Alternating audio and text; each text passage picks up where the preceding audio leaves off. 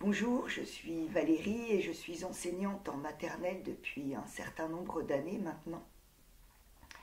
Et c'est vrai que dans mon école, je croise beaucoup de FS et de contractuels qui sont en demande de conseils pratico-pratiques et qui ne savent pas trop euh, par où commencer pour euh, gérer leur classe.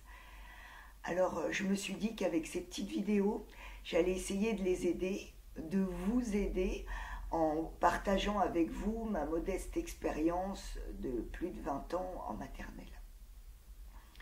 J'ai décidé de commencer cette série de vidéos par les comptines ou jeux de doigts qui me semblent centrales en maternelle et euh, finalement assez euh, facile à mettre en place euh, en classe.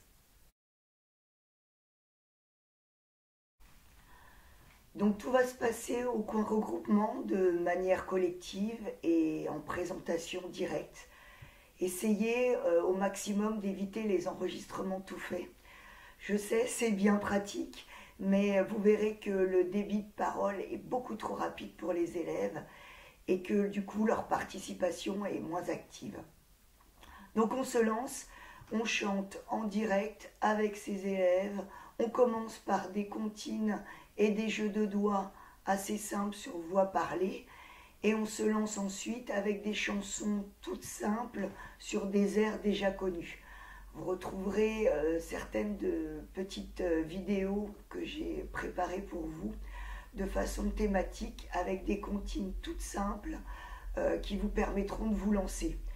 Et puis vous verrez qu'à la longue, vous oublierez que votre ASEM vous écoute et euh, vous profiterez euh, de ce bon moment avec vos élèves. Pour apprendre des comptines, euh, pour l'apprentissage des comptines, il vaut mieux le faire le matin, avant ou après l'appel. vous récitez une première fois la comptine toute seule, et ensuite une deuxième fois où là vous évitez de dire la fin des phrases, et ce sont les élèves qui vont compléter et vous la récitez une troisième fois. Bien sûr, euh, le principe de la mémorisation, c'est que ce soit tous les jours, voire plusieurs fois par jour. L'avantage des comptines et des chansons, c'est qu'elles peuvent être utilisées une fois apprises, un petit peu à chaque moment de la journée, euh, où vous sentez que votre classe vous échappe et que vous avez besoin de recentrer l'attention euh, de vos élèves avant la présentation des ateliers ou au moment du coin regroupement quand tout le monde est un petit peu agité. Donc n'hésitez pas, usez et abusez des comptines.